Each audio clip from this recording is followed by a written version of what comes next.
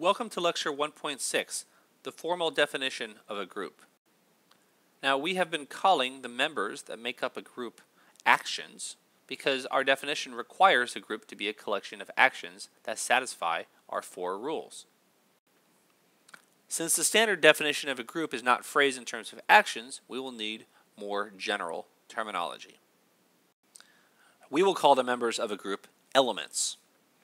In general, a group is going to be a set of elements satisfying some set of properties. And I think I've probably slipped in and, and said the word element before in previous lectures. And hopefully you know what I meant because um, even when we were calling them actions, we're talking about a collection or a set of actions. And elements are generally what we call things in a set. So we will also use standard set theory notation. So I will write things like this to mean H is an element of the group V4.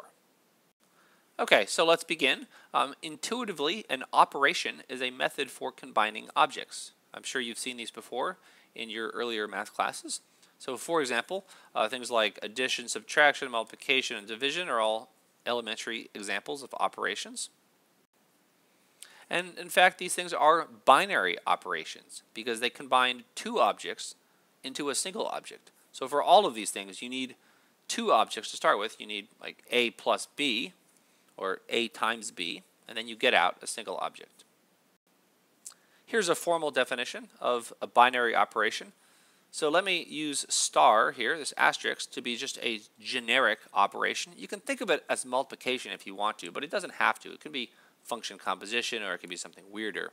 So if star is a binary operation on a set, well, what we mean by that is that we can always take two elements in the set and multiply them together, and we get something that remains in the set. So in this case, we say that S is closed under this operation. Now combining or multiplying two group elements, i.e. doing one action followed by the other, is a binary operation. We say that it is a binary operation on the group because we want to think of a group as, as a set. Recall that our Rule 4 in our informal definition of a group says that any sequence of actions is an action. This ensures that the group is closed under the binary operation of multiplication, or of combining if you prefer that. But we're going to start using multiplication most of the time. Multiplication tables are nice because they depict the group's binary operation in full you see exactly what happens if you take any s and any t and multiply them together. However, not every table with symbols in it is going to be the multiplication table for a group. And that's something that we've seen. Um, you cannot have two of the same element in the same row or the same column. But those are not the only restrictions. There are some more subtle uh, requirements as well. So recall um, that an operation is associative. You probably saw this in a few previous classes, like your maybe your Intro to Proofs class. If parentheses are permitted anywhere but required nowhere. I think that's the best way to define what it means to be associative. For example, ordinary addition and multiplication are associative, right? Because, I mean, you can write A plus B plus C equals whatever it is. So parentheses are permitted anywhere but required nowhere. In other words, I can put my parentheses there and that doesn't change the outcome. Or I could have put my parentheses somewhere else. However, subtraction of integers is not associative. Because 4 minus 1 minus 2 is not the same as 4 minus 1 minus 2. So let me ask you, is the operation of combining actions in a group associative? Yes or no? Think about that. The answer is yes. We will not actually prove this fact, but rather we will illustrate it with an example. Let's recall D3. This is the group of symmetries for the equilateral triangle. It's the triangle puzzle. It's generated by R, which is rotate, and F, which is a horizontal flip. How do the following compare? Doing R, then doing F, and then doing R, I claim that that's the same thing as doing R and then F, and then doing R. Or by doing R and then doing F and R. You see how the parentheses doesn't make any difference? Even though we are associating differently, the end result is that the actions are applied from left to right. The moral is that we never need parentheses when working with groups, though we may use them to draw our attention to a particular chunk in a sequence. So they're useful, but they're not necessary. Okay, so we are now ready to state the standard definition of a group. A set G is a group if the following criteria are satisfied. First, we need a binary operation on G. In other words, G has to be closed under this operation. That operation has to be associative. There has to be an identity element. This is like the do nothing action. Uh, specifically, uh, the identity multiplied by any element, either on the left or on the right, is just that element. So that holds for all G in the group. And finally, every element has an inverse that we write as and say G inverse satisfying the following that in either order if you multiply them together you just get back to that identity element.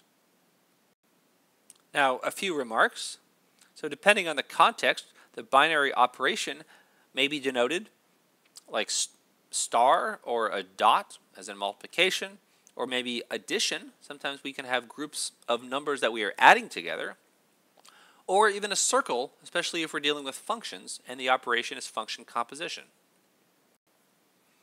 As with ordinary multiplication, we frequently omit the symbol altogether and we will, and we will write something like xy for x star y. But we only do that typically if our operation is actually multiplication. It wouldn't make sense to do this if we were talking about adding x and y together. Speaking of addition, we generally only use the plus symbol if the group is abelian. So g plus h always equals h plus g, but in general, g times h does not equal h times g. If you want to remember this, think about matrices. Adding matrices, the order does not matter. Multiplying matrices, it absolutely does. Finally, uniqueness of the identity and inverses is not built into the definition of a group.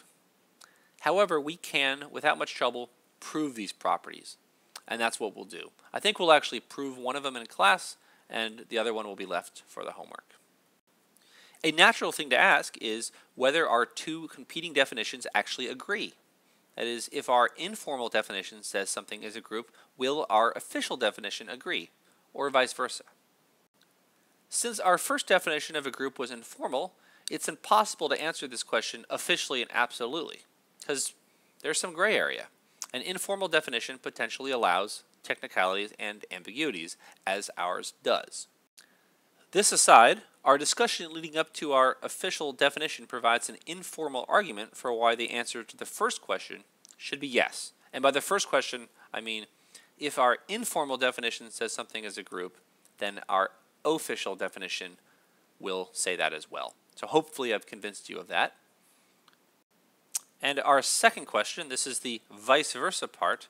If we have a group defined with our official definition, um, is it necessarily a group with the informal definition? We will answer that in the next chapter.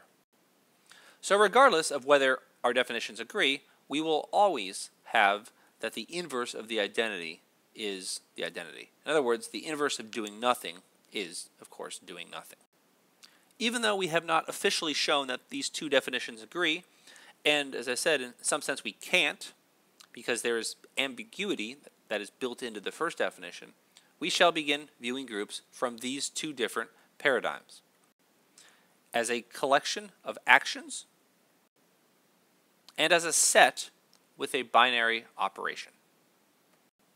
One of the first things we can prove about groups, something that's not built into the definitions, is uniqueness of the identity and inverses. So here's that first statement as a formal theorem. Every element of a group has a unique inverse. Let's prove this. So let's let G be an element of a group big G. By definition, it has at least one inverse. So let's do the same technique that we did in proving that elements can only appear once in every row and every column of a multiplication table. Let's suppose that we have two inverses. Let's call them h and k. Now we're not going to actually come up with a contradiction, but we're going to show that h and k have to be the same. The fact that h and k are both inverses of g means that gh and hg both equal e, and gk and kg also equal e. As I said, it suffices to show that h and k are actually the same. That will prove uniqueness. Indeed, h equals h times e. This is the identity. Now, since the identity is g times k, I can stick that right here. And now you can't stop me from moving the parentheses like this. And now what is h times g? Well, that's also the identity. So that's the identity times k. And the proof is complete. We started with h and showed that is equal to k. So maybe this was a trick here. What we actually did is we took the element g and we multiplied it on the left by one of the inverses h and on the right by the other inverse k. And then we said, well, by moving the parentheses around, we can get this thing to equal h, like this, or by k, like that. The following proof, which I will not do here, but instead you will do in the homework, is very similar. Every group has a unique identity element. So let me give you a hint about how to get started. It's going to be very similar. Let's suppose that we have two identity elements. So let's suppose that we have E1 and E2 that are both identity elements, meaning that G times E1 equals E1 times G, which is equal to G. This is for all G in the group. And the same thing holds for E2. G times E2 equals E2 times G equals G for all G G. You have to show that E1 equals E2. And it has to be convincing. If you write the proof up and you look at it and you say, I don't know if it's actually a proof, I feel like I might have waved my hands and cheated a little bit, it's probably not right. So once you get it and you know you've gotten it, you'll be sure.